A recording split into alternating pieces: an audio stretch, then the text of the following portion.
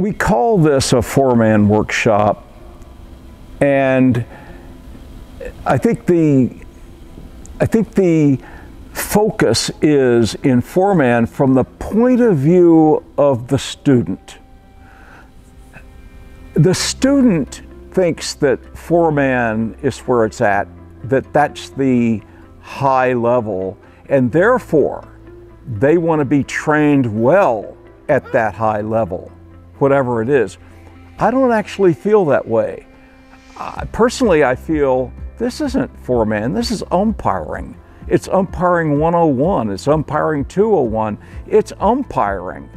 Our instructors are mixing with the major league umpires and the professional umpires in a partnership also so that they are trading ideas all the time. We've never done a camp like this where the high level instructors that are college umpires or, or used to be pro umpires, now college umpires, mixing with high level professional umpires and the trading of ideas that we see here is unique.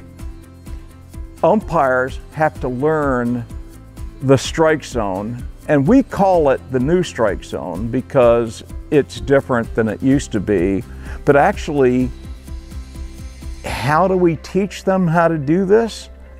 The only way to learn it is to practice it with immediate feedback. What the laser does is the laser shows them immediately whether they missed the pitch by that much or they got it. It tells them immediately. Then happens is they're able to change their strike zone based on the accuracy of the laser measurement and whether the laser is going off green or the laser is going off red. And they then learn where that outside pitch is, where that high pitch is that they're having trouble with. They learn that because five or six pitches on the outside that they guess on that the laser then corrects them on allows them to go to a game tomorrow and get it accurate, get it right.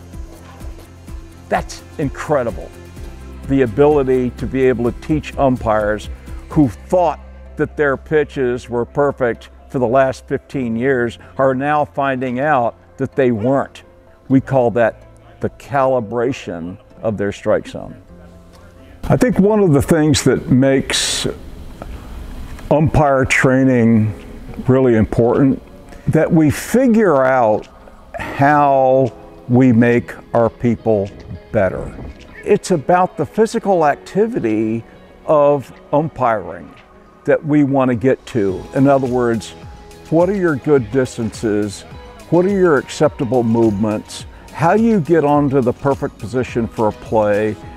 We might not always get to that perfect position for the play, but if we can get the best possible position, then we raise our odds of getting that call right. Let's raise that chance. How do we do that?